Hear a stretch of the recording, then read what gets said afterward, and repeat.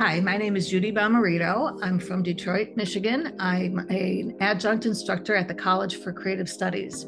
And most of my work is fine art. And I do love to pride myself in being a storyteller, a visual storyteller. So, Judi, why don't you tell us a little bit about your work? I think an important component of my story is that my mother was mentally ill and I became her sole caregiver. And I think that's really an important story to, to, include because it wasn't always easy being her caregiver. And I began photographing her. And this was when our healing journey began, our journey to healing and forgiveness. So when she became, along the way, she became ill, and I had to put her into a nursing home. So she spent 12 years into a nursing home. Uh, she was their longest resident and they loved her.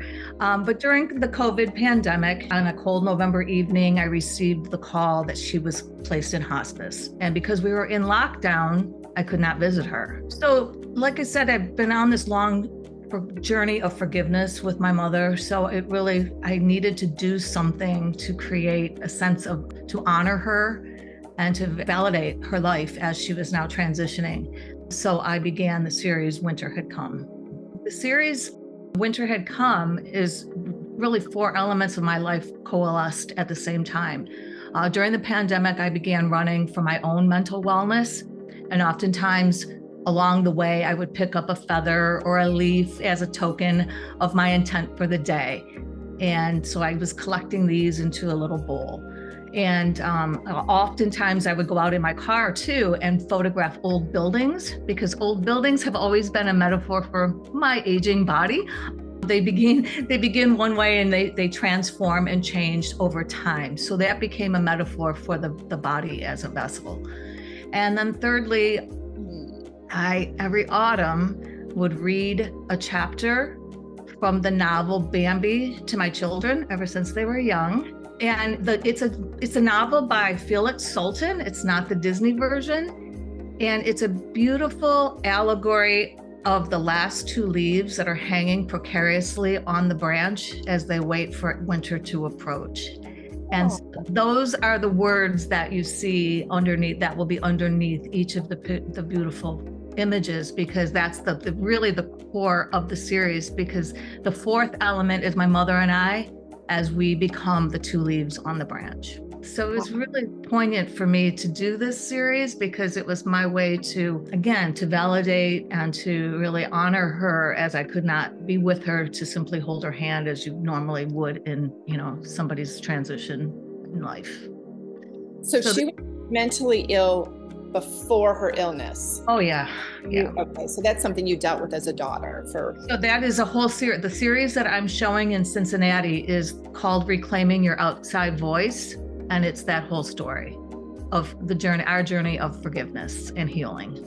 How long have you been a photographer artist? Since the 90s. yeah, I, I graduated from the College for Creative Studies in 1995 and I've been teaching there since 1999. I teach, and one of the classes I teach is called Performative Spaces, which is a storytelling class. Um, it, it, offers the students the opportunity to tell their own stories. So I always show my story as an example and share with them.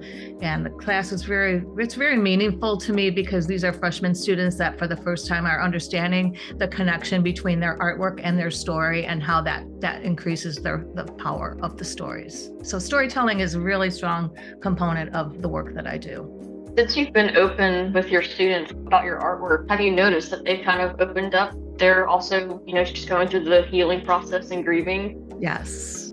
Talking about things that are personal, you sharing their personal experiences, because oftentimes when students are younger, they can, even especially if they're graphic design students, they're not thinking that their stories are important. They're looking at things from a more commercial perspective. That's the story that I tell in, in my series when I do the Reclaiming Your Outside Voice show. Judi, had you known about or had involvement with hospice before this, you know, situation?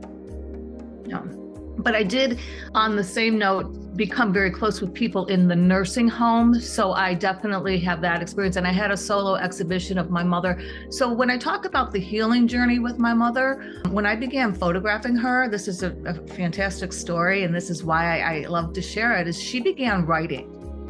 And so she began writing her story on the back of menus or envelopes or anything that she could write on. Sometimes it was just a few words. Sometimes it was like, once upon a time, there was a girl named Jane, or, you know, she would like say these different things. And she, so as though she wanted me to hear her, she knew I was doing something bigger than both of us.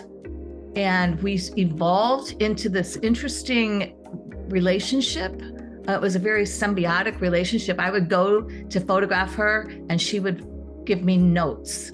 And she wouldn't give them to me, she would hide them, but I would find them. And she, it, because she was never able to talk. So this was her way of talking. And she knew I was finding these little pieces of paper. So she couldn't with her voice talk, but on paper she could. So these are the images that I have inside in in the show that I'm going to be having in October.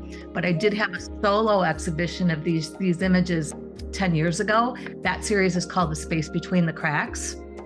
And it shows our relationship of going back and forth and the discovery. A lot of them are diptychs. I would take the photo and then I would um, juxtapose it with her text. Can I ask what mental illness your mom was diagnosed with? Yes, you can. She had schizophrenia. How old was she when she was diagnosed? 60s. She was undiagnosed, un- uh, emotionally unavailable my whole life, always concerned with other things. And she just snapped in her 60s. I had all three of my children at the time. My daughter was two, and she had a psychotic breakdown and my dad took care of her for two years, and then he had a stroke. And oh when, the, when he had his stroke, that's when I became her sole caregiver. And then after that, how long did your dad pass? He passed a few months later. He had a stroke on Labor Day and passed on Thanksgiving. Didn't want to take care of her because we didn't have a very good relationship. That's why I think my story is so important to share because it's a story of seeing, I started to see her. It's almost as though she thought I was going to rescue her from the ivory tower and maybe she rescued me. How long ago did your mom pass? Three years ago. Three years ago. Yeah. Wow. My mother's nursing home just contacted me because I made a little booklet when I did the series, The Space Between the Cracks. I had a little book and I brought it up to the nursing home so that they would see that I'm walking around with my camera. I'm not taking photos of other people. And, you know, they kind of got to know me. They just requested a book. And I told them after I come home from November, eh, being in Georgia, I said, I'm going to come over back to the nursing home and talk to them about doing lectures for their community because they have so many families that don't want to be with the family members. They want to drop them off at the nursing home because everybody's got, you know, everybody's hurt. Everybody needs, you know, to be to understand forgiveness. It's not the best thing for the residents because the residents need the family. So the nursing homes really want to bring the families together. So I'm hoping that maybe my story, they thought my story might help a particular family. And I said, well, you know, if you feel that strongly about that, perhaps when I come home, we can arrange, you know, every few six months or something, I can do a, a slide presentation with my artwork and talk about how my healing journey has been.